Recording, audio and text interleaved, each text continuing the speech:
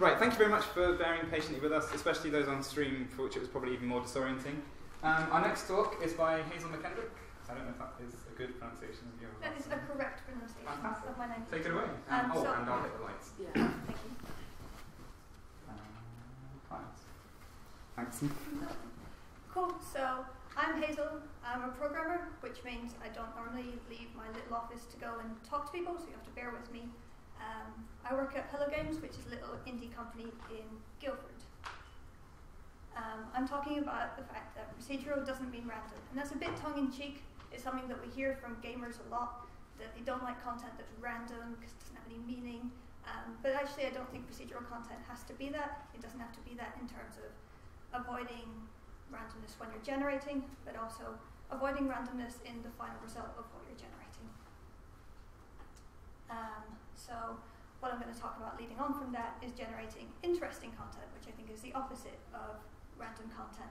Um, so, I'm going to talk about the general structure of a game that could include that, um, some methods of generating content that kind of moves beyond just like some basic noise.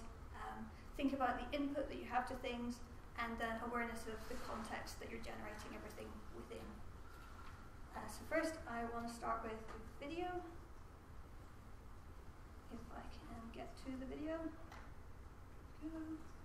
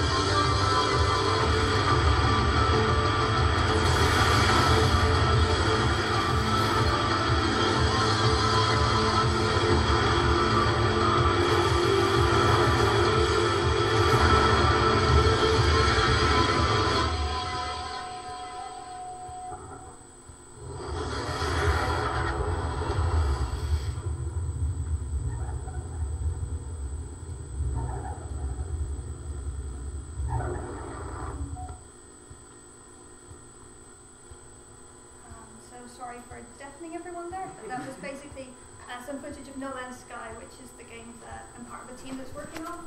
And this isn't talk about No Man's Sky, but I feel like that video showed off some of the the interesting generation that we're able to do. I feel like it, we're creating something that's fairly consistent, and you wouldn't say is random. You could probably tile those scenes together and agree that it's one coherent game.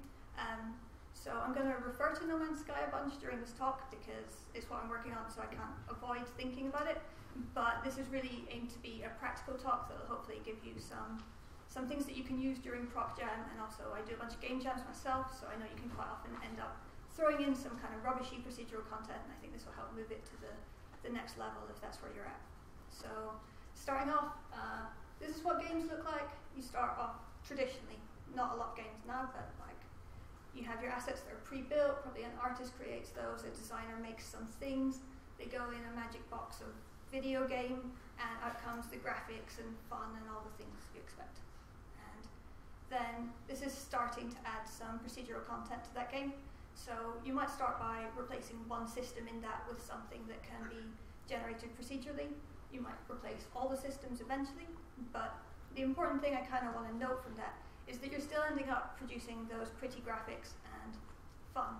And I think whether the generation is something that's completely created within the game or something that relates to what the player's doing, then the output is still the thing that's important when you're creating a game that's not so much an experiment and something that's aimed to be fun for the player. So the player should be able to play any game and be like, this is really cool and not really care about the system they used to create all that content. Like they shouldn't know the difference between something that was crafted and something that was procedural. Maybe you can create way more with procedural stuff, but you know, you shouldn't be aiming to make a procedural game because procedural stuff is cool. It should be because you can have this like output that is still fun and still probably quite visually appealing, quite interesting. So I'm just going to zoom in now on one particular asset in isolation. So if we're generating any of our things, then we're kind of thinking about a system that like rings true across pretty much everything. So input, do some stuff, have some output, and in this case, the do some stuff is like our black box of maths. And that's where a lot of the procedural generation work that we do comes in. It's uh, filling in that black box of maths with something interesting. Um, and I should point out, I'm talking about one particular thing in isolation now, but I'll move on to talking about how this all comes together. Um, and additionally, like I'm talking about fairly traditional assets here, like textures and models, but that completely doesn't have to be the case. This can be true when it comes to generating some narrative, generating scripts, generating AI, anything like that. I think this this kind of framework, and it doesn't have to be one you stick to, but it's one that I kind of like, um, is applicable across all of that stuff. So moving on and talking about random noise, and that means, um, and I'm talking about at the kind of lowest level when you call a function to get some noise and you're returning a pseudo-random value. That is bad. Don't do that. Um, it's the kind of thing that you fall back on when you're at a game jam and you want to throw some stuff in a level and you're like, well, let's just make a random time between all these things. I think it's fairly intuitive that if you wanted to generate a terrain or a dungeon, that random noise isn't going to get you that result, but it still crops up all of the time in like placement of things and distributions. Um, and I think that's overall almost always bad. There's almost no case where you want to fall back on that. So moving on to what we actually want from some nicer noise. So I know a lot of people use um, pre-existing generation frameworks, and they'll probably give you a choice of things to use and things to layer.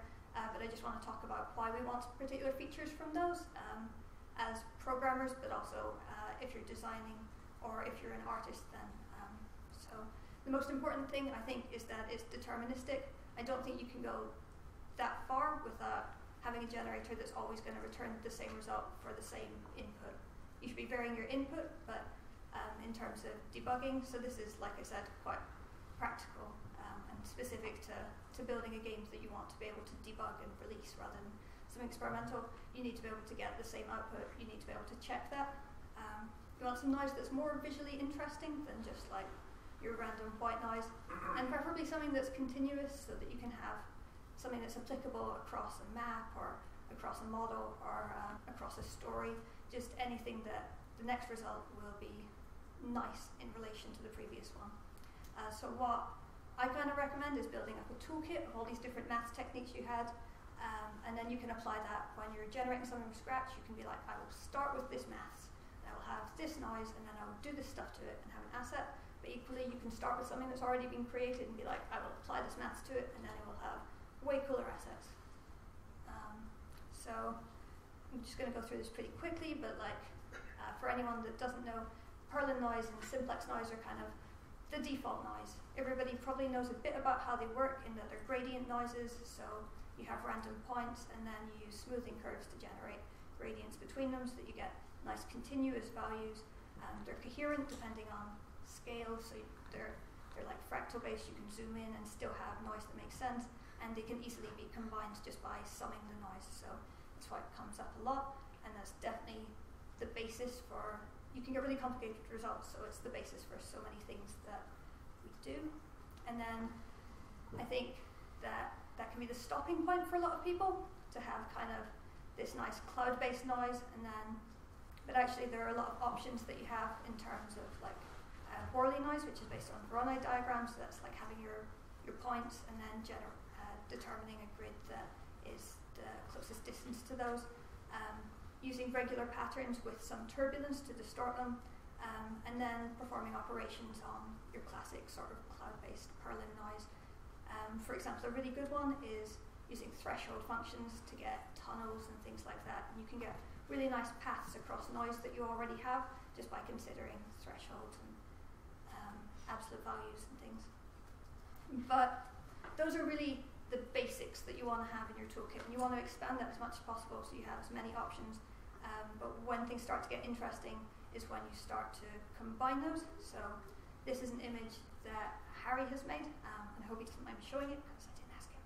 But um, as you can see, that kind of you can see traces of where other noise techniques come in, so you can kind of see how this relates to the previous Perlin noise. Um, but you can see that there's more interest to it. There's colors in there, but they're not like random colors. They're colors that have a nice continuous gradient. Um, there are stars in there, and they have a nice distribution. They're not randomly placed. They're not all clumped together, but it's fairly even across it, and that comes from layering all our different techniques. Um, and then I want to talk about your use of distributions with noise, and I think this kind of ties into some of the things Tanya was saying.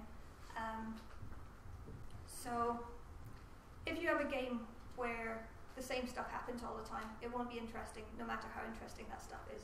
If you're building a dungeon crawler and you have caves that are made of rock, caves that are made of ice, and some super cool caves that are made of gold, if a third of your caves are made of gold, then nobody cares anymore. You see one, you like, done, seen that. But if you can break up the distributions and craft that to something more interesting, um, that's when you can get a game that seems more unique. So, for example, in No Man's Sky, we like to think of like 90% of our planets being really boring, barren husks. But then, because we have 10% that are really vibrant and full of life, those will mean something when you get there. And I think that rings true for everything. So, like drawing attention to that um, screenshot there, you can see that there's not like an even distribution of trees and things, those are clumped together. And the thing that our artist likes to talk about is if you have a tree, then that's a bit rubbish. If you have a tree with some plants at the bottom, that's kind of a nice tree, a nice scene. But if you have some a tree with some plants and then some rocks around about it, you're starting to get the kind of content that someone would specifically go and hand place. Um, and you need to be thinking about ways you can generate that. And the biggest way is just by thinking about your distribution, by using the same sort of noise to place different objects and then leaving large areas untouched. Um, and I just want to really hammer home the fact that this applies right across all scales of whatever you're doing. Um, so we can use a lot of similar techniques for creating the, the sky that all of our stars exist in, to creating a single galaxy that has asteroids and planets and things, right down to how we place grass on rocks. And I don't mean that we use exactly the same things, but I mean that by building up that that sort of maths toolkit, then we can constantly refer back to things from that um, to be able to apply them in any situation. Um, and compared to a smaller game, um, our team of 10 probably seems quite big, but compared to most AAA studios, we're really tiny. So we do need to think about, you know, um, code reuse and what we're actually writing and how much we can get from every single piece of work that we do. And that's even more true if you have like 48 hours in a game jam. Um, but I don't mean that you should just be relying on this noise and not considering specific techniques. When it comes down to generating things, you can always use this as an extra. Um, I think Ken Perlin has some really great examples of applying noise to animation data he already has just to have something a bit more natural looking.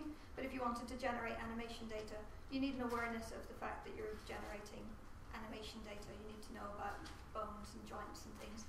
Um, so, you know, I'm not saying that you need one technique for absolutely everything, just that some techniques will take you a long way.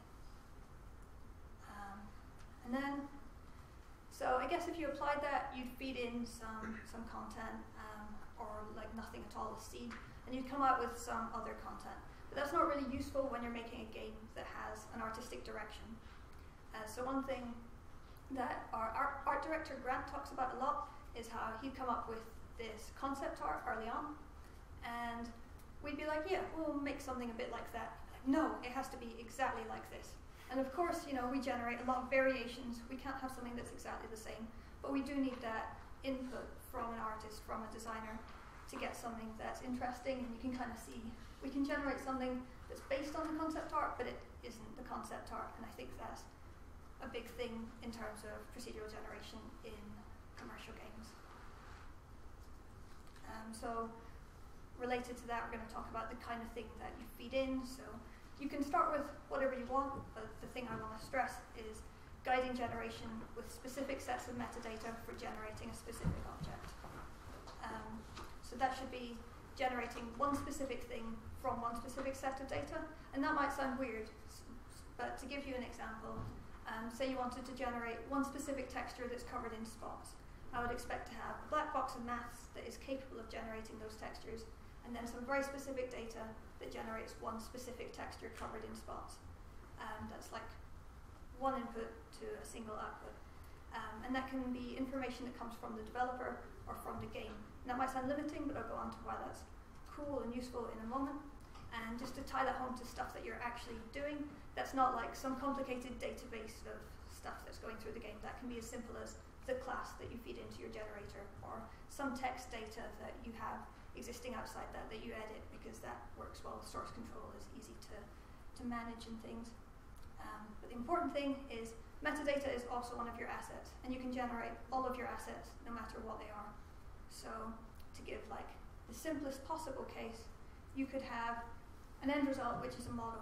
You could have a generator which creates models or perturbs models or something. You could have specific metadata that creates this specific model. But then you could start with different metadata that allows you to create the metadata which creates a model. And you could link this infinitely. You can layer this, you can have data that creates other sets of data that creates the game. So to give an example from No Man's Sky, you could have data about where a planet exists, how its uh, atmosphere is composed, its distance from the sun, and then you can use that data to create some specific data that will be related to the atmosphere and the expected weather systems, and then you can use that to create actual specific data in terms of the kind of particles that you're going to see, the kind of colors you'll see across the sky. But it's all one step at a time, so it's easily manageable. Um, which is kind of what I wrote there. Um, mind. Um, but that makes it really easy to step in and debug at any point. So an important thing for us is being able to see what's going on, seeing where things go wrong, and that's like definitely true if you're working on a smaller game. You want to see why you're getting the results you're getting, um, and by having everything broken up into data and um, generator parts like that, it becomes really simple to step in, look at your data, see what's going on. Um, and it's also an opportunity to get either a lot of control or a lot of emergence, depending on um, how strict you are with the data that comes in. So you could have a generator that creates data that's on a really wide array range of inputs, and then the final results based on that, based on all these chains, will be really varied. But you could also take control and say, I'm going to feed in these specific colors, and I know it's going to choose one of these with these distributions, and then you'll have really close control, but still a little bit more variety than if all your content was handcrafted. Um, so the important point I want to hammer home is I was talking about one asset in isolation and how you generate through the whole thing, but nothing exists in isolation. Uh, you can't create a coherent game generating one asset at a time. Uh, you might think you have something that doesn't need to know about anything else. Maybe you're generating the floor of your dungeon and it's all wood, but when someone steps on that, it needs to make a wooden sound, not the sound of sand or something. So that needs to be tied to all your other systems. You generate a model and you need to know about AI and physics, and everything needs to tie together to be consistent. And if you don't do that, that's when you're going to get your kind of random combinations where you've generated a texture for a model, but it's not a texture that makes sense for this model. Um, everything needs to have meaning. Um, so in order to manage that, we look at sharing inputs to systems. So if you're generating a dungeon and you're placing objects across it, you want the same kind of input to that, to the data that you're having to generate the shape of rooms, the textures on it. Um, and that's when it becomes really important to pick out the things that uh, are actually significant, are actually meaningful. Um, and Tanya said a lot more about this, but it's, this is the point at which you sort of apply it in the system that I'm talking about. Um, so then you can use that um, and you'll end up, as long as you have generators that are fairly consistent and all work together, um, you can create results that are really coherent, even though you're still generating all your things uh, in a slightly different way. Um, and then finally, I just want to talk about knowing whether you've achieved this. So if you think you've generated interesting content and you think you're you're getting something from it, it's really important to be able to see a wide scale of what you've produced. Um, uh, we do that automatically. We um, take screenshots of the world, we take screenshots of things we're generating, and then you can get a quick visual impression and be like, why are half of my spaceships red? There's no good reason for that. If you look into it, there will be a good reason. But you might not know that. The first 10 ships you look at might have been red, blue, green, and have an okay distribution. You really need to look at the larger data set when you're dealing with things that can generate a really large amount of content. Um, and then you can check the distributions and make sure they make sense with what you were saying. So, in summary, um, procedural content needs to avoid appearing to be random, and it needs to avoid using random generators in its creation. Um, that means you need to be able to guide it personally, but by layering those techniques that you're using to guide generation, you can still end up with something that's really varied. Um, and you always need to be aware of context no matter what you're generating. There's no point writing a system that exists all by itself. So that's the end of my talk. Feel free to email me if you want or ask some questions.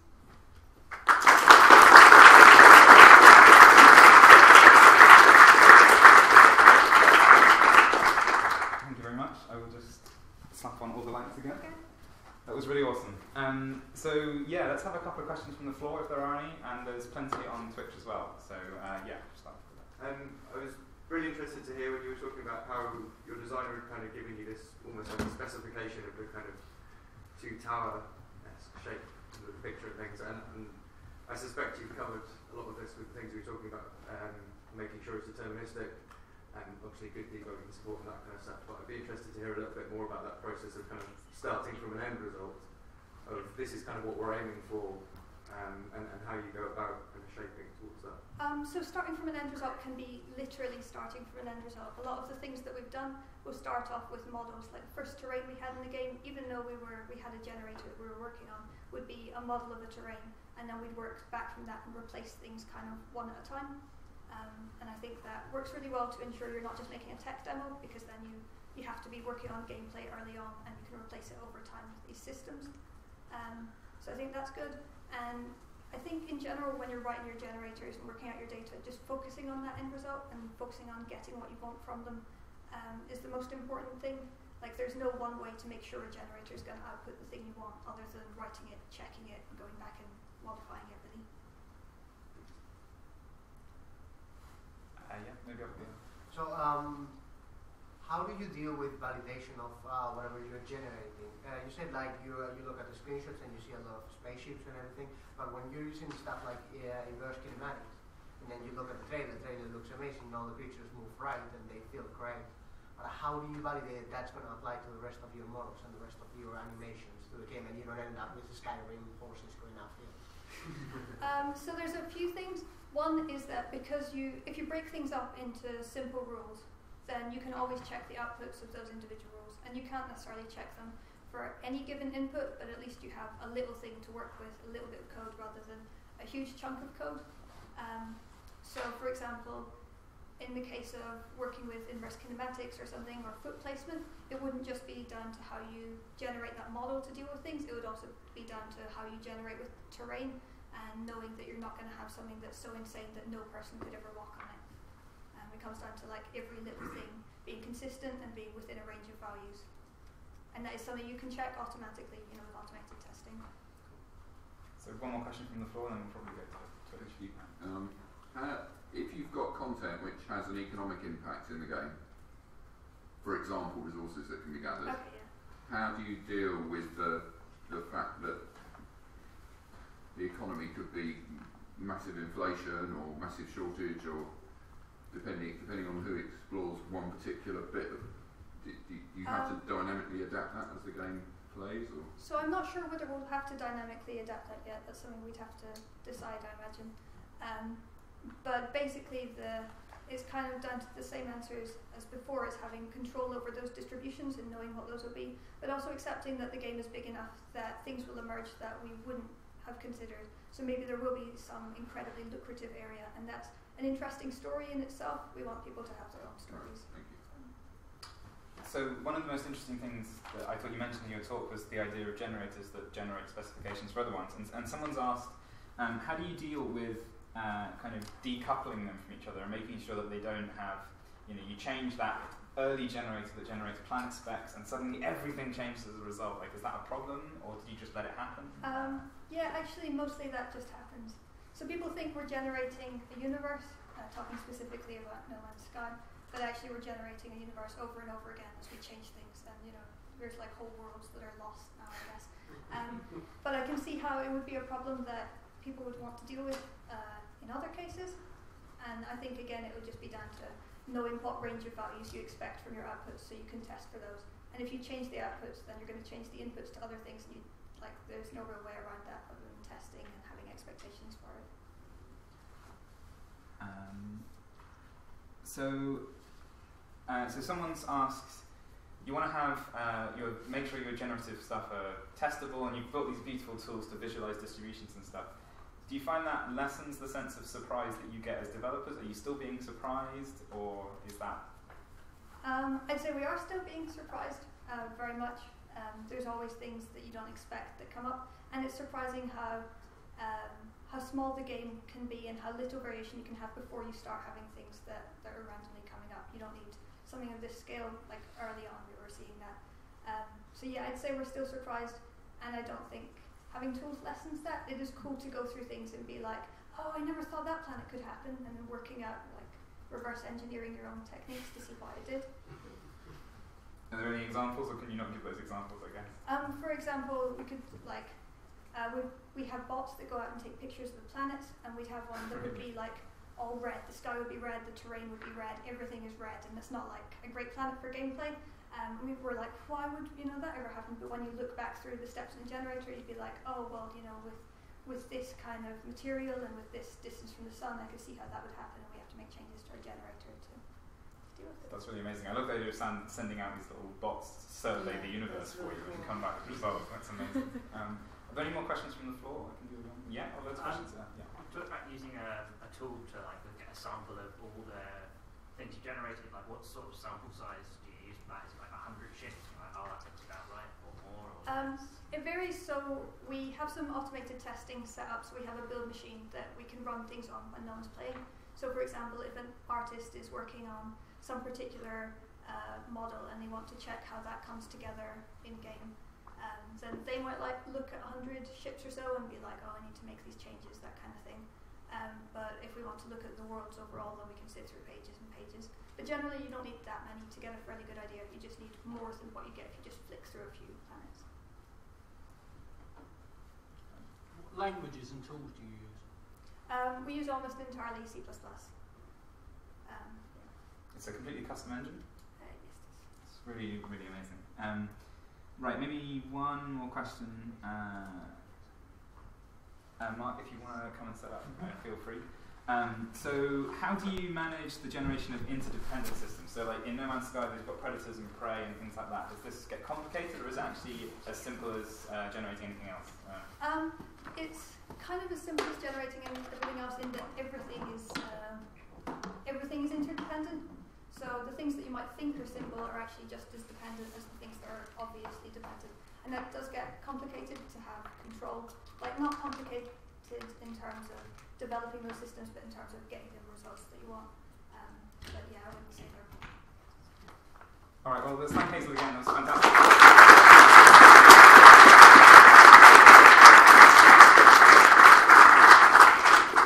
Um, I come bearing good news. Sorry, I probably shouldn't. Uh, Twitch had some fun with the volume um, in the last couple of talks. Uh.